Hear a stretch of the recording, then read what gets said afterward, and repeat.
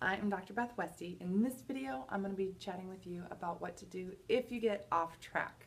Now, we've all done it. We've all had, you know, slips in our, you know, new nutrition or exercise regimen where you just wake up and you don't want to go to the gym, or you um, you have this plan that you're going to eat healthy.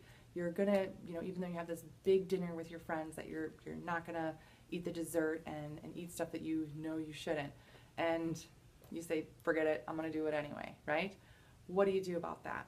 Well, it's okay. Everybody has those things. The most important is that you get right back on track.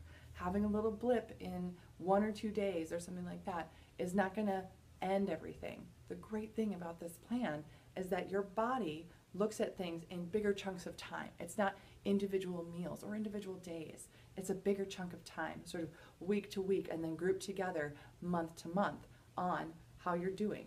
So, having a little blip in there is no big deal. Just get right back on track, follow the plan, and you'll notice that benefit from there.